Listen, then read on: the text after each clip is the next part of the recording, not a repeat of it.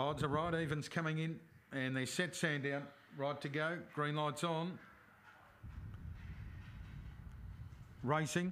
Osprey Rose left well on the rail, going with it Summit and Rose, but Osprey Rose puts the foot down now, and the favourite goes clear, turning out of the straight to U Ember in pursuit. Followed by Summit and Rose, then Almighty Mac and another Vendetta. Down the back, Osprey Rose off the fence in front by a length and a quarter, U Ember, making the favourite work, and then about five lengths Summit and Rose, followed by Almighty Mac and another Vendetta. Osprey Rose slipped clear though, and the long odds on favourite doing it well. Turn clear to U Ember. Summit and Rose runs on, but it's all Osprey Rose romped away to win well over Summit and Rose and the tiring New Ember. Fourth is pretty close. It might be just Almighty Mac near the rail. Another Vendetta's got very deep on the track, but I think it's just missed that fourth slot. And the run there, 29.55. 29.55 to the favourite Osprey Rose, number one.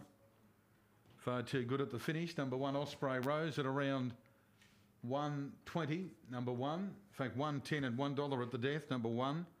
Osprey Rose beats two Summit and Rose, six U Ember, and fourth has gone to four, another Vendetta. So four has grabbed fourth. One, two, six, four. One, two, six, four, fourth. Very wide out on the track, number four. One, two, six, four. Five lengths by two and a half. Five by two and a half. Five, thirteen, eighteen, ninety-six. Ten, sixty, twenty-nine, fifty-six. One, two, six, four.